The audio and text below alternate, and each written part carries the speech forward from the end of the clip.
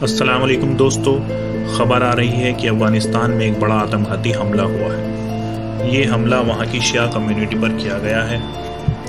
इस हमले में 50 से ज़्यादा लोगों के मारे जाने की खबर है और हमले में 100 से ज़्यादा लोग घायल हुए हैं। मरने वालों में ज़्यादातर तादाद नाबालिग लड़कियों की बताई जा रही है, जो उस वक्त वहाँ स्कूल के बाद घर लौट रही थी। ये हमला पश्चिमी काबुल में एक स्कूल के बाहर हुआ, जब बच्चे स्कूल के बाद अपने घर लौट रहे थे।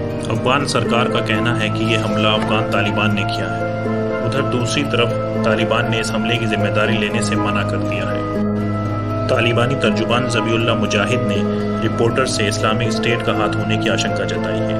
किसी ने भी इस हमले की ज़िम्मेदारी लेने से मना कर दिया है। जानकारों की माने तो जब से अमेरिकी फौज ने अफ़गानिस्तान से निकलना शुरू किया है, तब से हमलों में बढ़ोतरी हुई है।